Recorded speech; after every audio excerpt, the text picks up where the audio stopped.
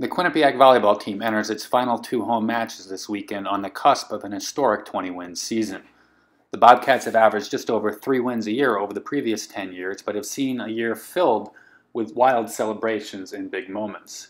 For the seven members of the senior class, though, the journey has been an uphill battle fighting through injuries to get to the point of an historic year. Head coach Chris Zaplinski took over the Quinnipiac program in 2011 and traveled far and wide to bring in his first recruiting class of six members, which basically constituted an entire new lineup. He brought in two middle hitters, Sam Aleko of Old Tappan, New Jersey, and Allison Lee of Palmer, Alaska, two outside hitters in Jamie Palucci of Lake Mary, Florida, and Katie Uriki of Chesterton, Indiana. He also had setter Emma Ogden of Crown Point, Indiana, and defensive specialist Cody Michaels of Versailles, Kentucky.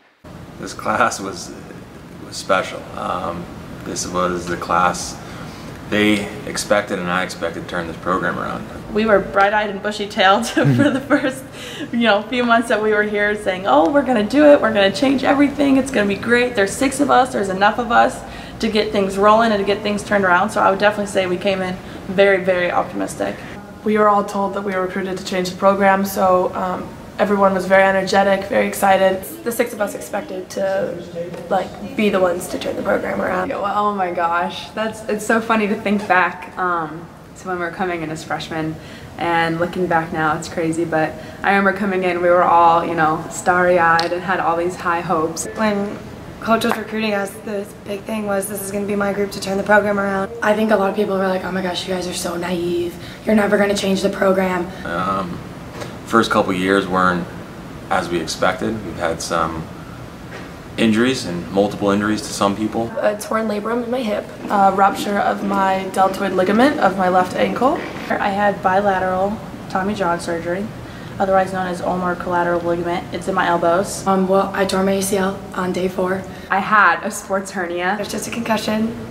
Fairfield. It was a fun game. we only had five and a half healthy players, so. The senior class also added a seventh member in graduate transfer Yana Kamek last year, but it took her a year and a half to be medically cleared. Um, I've had two ACL surgeries and a meniscus surgery most recently, so I fit right in with this class.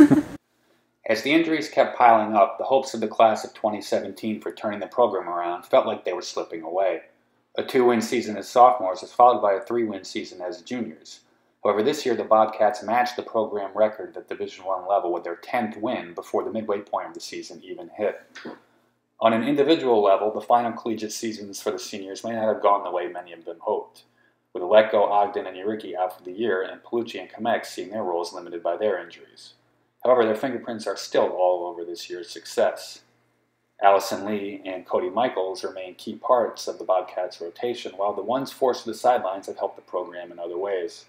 Freshman setter Maria Pansari credits Emma Ogden's tutelage with helping her adjust to the collegiate game at setter, while freshman outside hitter Natalie Lecco has been equally complimentary of the role that Katie Uriki has played in helping her adjust at her position. Leadership is huge, every single one of them, and every single one of them has stepped up tremendously, especially this year, to to be leaders, to help the freshmen out, to you know, if they're not maybe starting in the game, they're the loudest ones on the bench they're the ones that in practice are challenging everybody more and more. So to say that, you know, not all of them contributed is crazy. What we do to help the younger ones, they're going to turn around and do it to help the program later on. So anything we do now in any way that we can help is going to carry on. We want to keep a positive attitude, and as a team, we always talk about um, 18 strong and all 18 of us are helping. It's definitely helpful to have an extra set of eyes off the court because it's hard to see everything in the middle. There's so much going on, it's so fast. Which I think the culture that they've set since they've gotten here, whether it's a winning culture or not, it's the culture of being a family and working hard for each other. Um, I think they've translated that into this year now that we're having success and it's been a huge part of why we've done so well. After a long, tough journey filled with injury plagued seasons, the Bobcats seniors are finally getting to taste success in their final go around.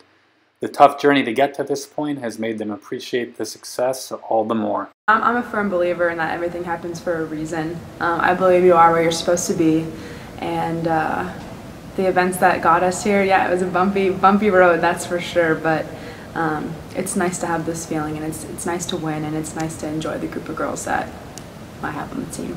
I like the quote that nothing good ever comes easy. Um, it's hard to see it when you're in the storm, um, that there is a light at the end of the tunnel, but um, now that there is a light and we're really enjoying this year and finding a lot of success, it is nice to look back and you kind of, I think that we appreciate it a lot more now um, because we went through a lot of really difficult times.